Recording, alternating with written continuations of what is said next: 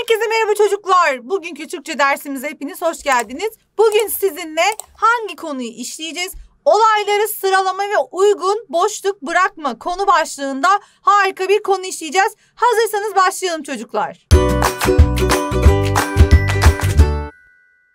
Evet bugün neler öğreneceğiz? Öncelikle olayları neye göre sıralıyoruz? Olayları oluş sırasına göre sıralıyoruz ve bunu öğreneceğiz birlikte. Harfler, sözcükler ve cümleler arasında uygun boşluk bırakma kurallarını birlikte işleyip öğreneceğiz çocuklar. Evet hazırsanız başlayalım. Öncelikle Tonguç ne demiş? İlk konumuz olayları oluş sırasına göre sıralama. Tonguç diyor ki bu sabah 7.30'da uyandım. İlk önce elimi yüzümü yıkadım. Sonra kahvaltımı yaptım. Daha sonra canlı ders için hazırlıklarımı yapmaya başladım. Şimdi Tonguç sabah uyandığı andan itibaren canlı derse başlayacağı zamana kadar geçen süreyi bize anlatıyor. Ama anlatırken ne yapıyor? Sırasıyla anlatıyor. Neye göre sıraya yapıyor peki? Neye göre sıraya koyuyor bunları? Bu sırayı nasıl belirliyoruz? Oluş sırasına göre. Yani şimdi bir insanın uyuduğu zaman düşünelim. Önce uyanması mı lazım, kahvaltı yapması mı lazım? Önce uyanması lazım değil mi? O yüzden önce uyanırız. Sonra ne yaparız? Elimizi yüzümüzü yıkarız. Daha sonra işte kahvaltımızı yaparız. Daha sonra dişlerimizi fırçalarız. Daha sonra üstümüzü giyiniriz. Derken olayları yaşanma, olma sırasına göre sıraya koyup öyle anlatırız. Bir şeyleri anlatırken bu sıraya dikkat etmemiz önemli çocuklar.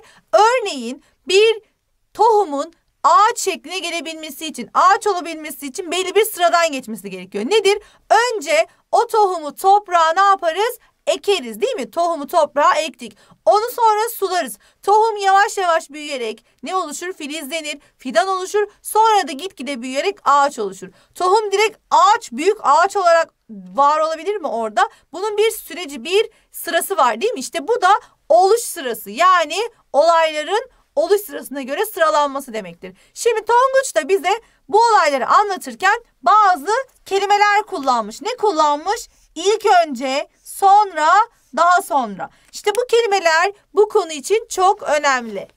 Neden? Çünkü olayları oluş sırasına göre anlatırken ilk önce, önce, sonra, daha sonra, sonucunda, en son gibi ifadeleri kullanarak anlatıyoruz çocuklar. Bu ifadeler ilk önce, önce, sonra, daha sonra, sonucunda şeklinde ifadelerden oluşuyor. Neden bunları kullanıyorum? Şimdi bir şey anlatırken ilk önce deyip ilk olanı anlatıyorum. İşte ondan sonra gelen varsa daha sonra diyorum. En son bir şey söyleyeceksem en son şunu şunu yaptık diye bitiriyorum. Örneğin hafta sonu annemlerle pikniğe gitmeye karar verdik. İlk önce bir önceki akşamdan çantalarımızı hazırladık. Sabah kalktık. Önce çantaları arabaya yerleştirdik. Sonra kalan eşyaları kontrol ettikten sonra arabaya bindik. Daha sonra gideceğimiz yere vardık. Akşam en sonunda eve gelerek pikniğimizi tamamladık. Bakın bir sıraya göre bu kelimeleri kullanarak ne yaptım? Olayları oluş sırasına göre size anlattım. Hadi o zaman birlikte oluş sırasına göre sıralayalım. Böyle sorularda önce hepsini bir kere okumam gerekiyor ki çocuklar neyden bahsediyor, hangisi önce gelmiş, hangisi sonra gelmiş kafamda oturtabileyim diye. Önce cümleleri okuyorum. Aniden bir ses duydum. Neden ağlıyorsun diye sordum.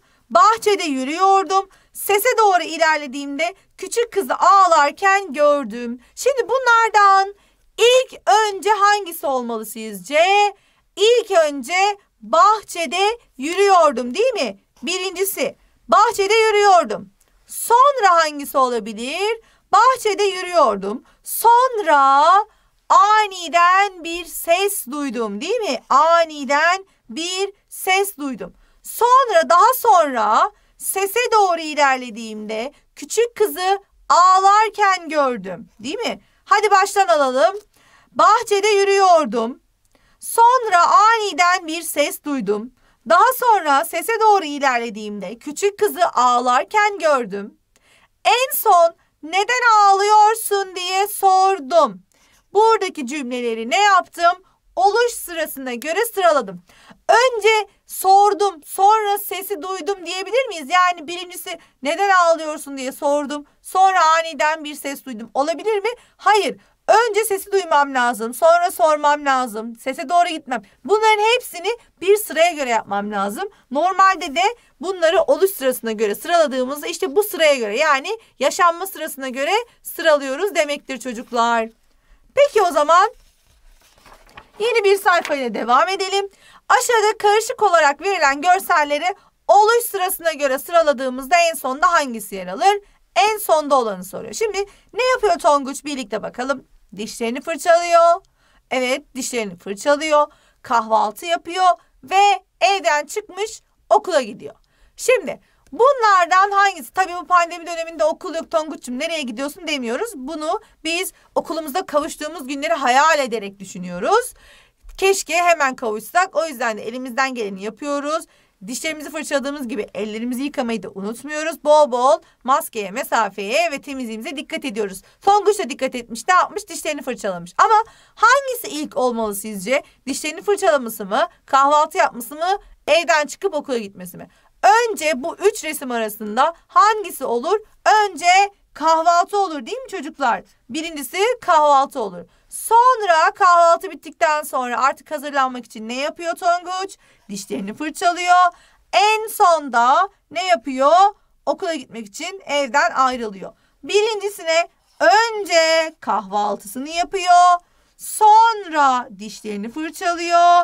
Daha sonra okula gitmek için ne yapıyor? Evden ayrılıyor diyebiliriz. Yani bu üçünün içinde en sonda yer alan görselimiz Tonguç'un evden ayrıldığı görsel. Harikasınız çocuklar. Peki devam edelim birlikte. Bir sorumuz var. Hangi seçenekteki araç diğerlerinden daha sonra kullanılmaya başlamıştır? Üç tane resim var. Üç seçeneğimiz var gördüğünüz gibi. Üç tane araç var. Bunlardan daha sonra kullanılan aralarında en son kullanılanı soruyor diğerlerine göre. Şimdi gaz lambası var değil mi? Yazalım mı ne olduklarını? Gaz lambası, drone ve radyo var. Evet hadi birlikte yazalım. Şuraya gaz lambası diyorum. Şurada drone'umuz var. Burada da ne var? Radyo var değil mi? Eski radyolardan var. Peki bunlardan hangisi çok eski? Gaz lambası en eskileri. Sonra radyolar var. En son bu üçünün arasında en son kullanılmaya başlanan hangisi? Dronlar değil mi? Dronlar günümüze en yakın yani diğerlerine göre en son kullanılmaya başlanan araç. Yani cevabımız drone olacak. Diğer bir konu başlığımız neydi bugün çocuklar? Uygun boşluk bırakma. Şimdi boşluk neyde bırakıyoruz? Yazı yazarken harfler, kelimeler, cümleler, işte paragraflar, şiirde dizeler arasında boşluklar bırakıyoruz değil mi? Bakalım bu boşlukları neye göre bırakıyoruz? Nasıl bir kural var? Neler var? Nelere dikkat etmeliyiz ve neden önemli? Hadi önce Tonguç'un kafası karışmış. Solda ve sağda iki tane metin var. Birlikte hem solu hem sağ okuyalım. Ama okurken siz de ekrandan benimle birlikte yazıyı takip ederek okumaya çalışın bakalım. Hangisini daha kolay okuyacağız ve neden? Bunun üzerine birlikte konuşacağız.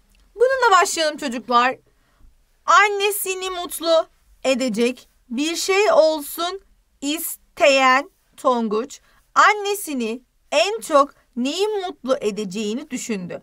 Aklına bir çok hediye fikri geldi. Şimdi bazı kelimeler sanki birkaç kelime bir araya gelmiş gibi değil mi? Hadi bir de bu taraftakini okuyalım sizinle. Annesini mutlu edecek bir şey olsun isteyen Tonguç annesini en çok neyin mutlu edeceğini düşündü. Aklına birçok hediye fikri geldi. Bakın şimdi burada kelimeler doğru yazılmış. Her kelime olması gerektiği gibi ama burada bazı hatalar var. Neler var? Mesela şurada annesini mutlu. Bunun nasıl yazılması gerekiyor? Ayrı yazılması gerekiyor ama bitişik yazılmış. Aradaki o boşluk nasıl? Yok değil mi? Sıfır. Birleşik yazılmış. Yanlış. Peki bir şey olsun isteyen. Bu ayrı iki kelime mi? İsteyen. Normalde bunun nasıl olması lazım? isteyen yani burada boşluğun olmaması lazım. Bu da yanlış yazılmış. Bir tane daha var hangisiydi? Aklına bir çok hediye. Bakın çok ve hediye iki tane kelime ama ne yapmış burada? Uygun boşluğu bırakmamış birleşik yazmış ve bu da hem okurken hem de yazarken hatalı bir yazım olduğu için yanlış yapıldığı anlamına geliyor. Ama bu tarafta kelimelerin arasında bakın uygun boşluklar bırakılarak yazılmış ve hiçbir kelime başka kelimeyle bitişik yazılmamış. Çünkü doğru yazılması gereken şekli bu şekilde olması gerekiyor. Hadi birlikte bakalım uygun boşluk bırakmak neden önemli? Şimdi uygun boşluğu bırakmak neden önemli? Önce nerede uygun boşluk bırakmalıyız buna bakalım. Bir sözcüğü yazarken harfler arasında boşluk bırakmamalıyız. Şimdi konumuz uygun boşluk bırakma ama bırakmamamız gereken yerlerde de boşluk bırakmak hatalı bir yazım. O yüzden nerede bırakmalı, nerede bırakmamalı bugün onu işliyoruz. Bir sözcüğü yazarken harfler arasında boşluk bırakmamalıyız. Cümlemize birlikte bakalım mı? Bir, sözcüğü bakın sözle ayırmış mı bu kısmı? Hayır. Yazarken bakın kelimenin içinde harflerin arasında boşluk yok. Harfler arasında hiçbirinde kendi içinde boşluk yok. Ama ne var? Kelimeler arasında birer boşluk var. O da hemen bir sonraki maddemizde. Ona geçmeden örneğimize bakalım. Kitap. Doğru yazımı kitap mı? Kitap mı? Tabii ki kitap birleşik olan burada ne yapılmış? Hata olarak ne yapılmış? Boşluk bırakılmış. Yanlış. Nasıl yazılmalı? Birleşik yazılmalı. Peki bir cümledeki sözcüklerin arasına E harfi sığacak kadar boşluk bırakmalıyız. Bakalım mı birlikte? Hadi bakalım. Bugün benim doğum günüm cümlesinde aralara E harfi sığacak kadar boşluk bırakılmış mı? Evet E harfi sığacak kadar boşluk bırakılmış. Yani bakın uygun boşluklar kelimelerin arasında aynı cümledeki kelimelerin arasında bırakılmış. Yani doğru bir yazım şekli yapılmış çocuklar. İki cümle arasına diğer bir maddemiz iki cümle arasına da E harfi sığacak kadar boşluk bırakmalıyız. Şimdi birincisi bir kelimedeki harflerin arasında boşluk bırakmıyorum. İkincisi bir cümlenin içindeki sözcüklerin arasına küçük E harfi sığacak kadar boşluk bırakıyorum. Yaptım gördüm. Üçüncüsü de iki tane ayrı cümlenin arasına bir E harfi sığacak kadar boşluk bırakıyorum. Nasıl? Karnım çok acıktı. Birinci cümle. Kalkıp kendime sandviç hazırladım. İkinci cümle. Bakın bu iki cümle arasında bir küçük E harfi sığacak kadar boşluk bırakılmış mı? Evet bırakılmış. Yani bu da uygun boşluk bırakma kurallarına uyulan doğru yazılmış bir cümleler sıralaması değil mi? Çünkü iki tane cümle var. İki tane cümlenin arasında ne dedik? Küçük E harfi kadar. Kesinlikle aynı kelimenin içinde e, boşluk bırakmayı bu hatayı yapmıyoruz. Boşluk bırakmıyoruz. Ama ne yapıyoruz? Aynı cümlenin içinde farklı kelimelerin arasına ne yapıyoruz? Küçük E harfi sığacak kadar ve iki farklı cümlenin arasına da küçük harf, E harfi sığacak kadar boşluk bırakıyoruz. O zaman bir etkinlik yapalım bu uygun boşluk bırakma ile ilgili. Uygun boşluk bulunmayanları işaretleyelim. Uygun boşluk olanları ve olmayanları şöyle yapalım. Olanları şöyle tikle yapalım. Olmayanları da böyle çarpıyla ikisini işaretleyelim. Doğru yanlış şeklinde. Hadi bakalım. Doğruları yeşil renkle, yanlışları da kırmızı renkle işaretleyelim. Kütüphaneden kitap aldım. Hadi bakalım. Kütüphaneden kitap aldım. Bakıyorum kelimelerin arasında küçük E harfi sığacak kadar boşluk bırakılmış mı? Hemen deniyorum. Bakın. Evet. Denedim. Bırakılmış. Peki kelimelerin kendi içinde boşluk bırakılmış mı? Hayır bırakılmamış. O zaman bu cümlede uygun boşluk bırakılma kurallarına uyulmuş. Yani doğru bir cümle. Peki diğer cümleye bakalım. Heyecanla salona gitti. Önce cümleyi okuyorum. Bakın normalde üç kelimeden oluşuyor. Heyecanla salona gitti. Üç kelime ama burada bakın sanki iki kelime gibi. Neden? Çünkü şurada evet E harfi boşluğu bırakılmış ama şurada bakın iki tane kelimenin arasındaki boşluk bırakılmamış. O yüzden burada uygun boşluk bırakma kurallarına uyulmadığı için yanlışı işaretledim. Peki üçüncü cümlem piknik günü gelmişti. Piknik günü gelmişti. Böyle cümlelerde kelimelere bakın çocuklar. Dışınızdan okuyun. piknik günü gelmişti. Üç kelime olması lazım. Ama sanki burada bir, iki, üç, dört gibi. Hemen bakıyorum. Piknik doğru. Günü doğru. Gelmişti. Bunun bitişik yazılması gerekiyor. Evet diğer iki kelimem arasında boşluklar doğru bırakılmış ama şurada yanlışlık yapılmış. Fazladan ayrılmış bir kelimenin kendi içinde boşluk bırakılmaması gerektiği için burada yanlış yapıldığı için bu uygun boşluk bırakma kurallarına uyulmamış bir cümledir diyorum. Peki sonuncusuna bakalım birlikte. Öğrencilerini çok seviyordu. Öğrencilerini çok seviyordu. Üç kelimelik cümle. Bakıyorum birinci kelimem, ikinci kelimem, üçüncü kelimem. Üç kelimenin kendi içinde harfler arasında boşluk bırakılmamış doğru ve kelimeler arasında da küçük e harfi sığacak kadar boşluk bırakılmış. Yani bu cümlede öğrencilerin çok seviyordu cümlesinde ne yapılmış? Uygun boşluk bırakma kurallarına uyulmuş. Harika bir şekilde etkinliğimizi tamamladık. O zaman doğru mu yanlış mı etkinliği yapalım birlikte. Bu sefer de doğruları yeşille, yanlışları da kırmızı kalemle birlikte yazalım çocuklar. Cümleleri okuyalım bakalım. İki cümle arasında boşluk bırakılmaz. Evet, iki cümle arasında boşluk bırakılmaz demiş. Bakalım doğru mu söylüyor? Hayır, neydi? Yanlış diyoruz. Çünkü iki cümle arasında da küçük e harfi kadar boşluk bırakmamız gerekiyordu. Bunu unutmuyoruz. Sözcükler arasına küçük e harfi kadar boşluk bırakılır. Evet iki cümle arasında da küçük e harfi kadardı ve bir cümlenin içindeki sözcüklerin arasına da küçük e harfi kadar boşluk bırakılırdı. Doğru. Yazımız okunaklı olmalıdır. Değil mi çocuklar? Bir şey yazarken başkalarının okumasını istiyorsak nasıl yazmalıyız? Okunaklı yazmalıyız. Bu da doğru kurallara, Türkçemizi kullanırken uymamız gereken kurallara uyarak olur. O yüzden doğru bir ifadedir. Harfler arasında çok fazla boşluk bırakılır demiş. Nasıl? Bir kelime yazalım. Mesela harfler yazalım.